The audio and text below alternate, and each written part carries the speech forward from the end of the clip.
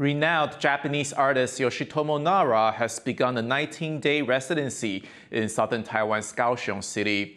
Nara is known for his abstract, cartoonish portraits of children.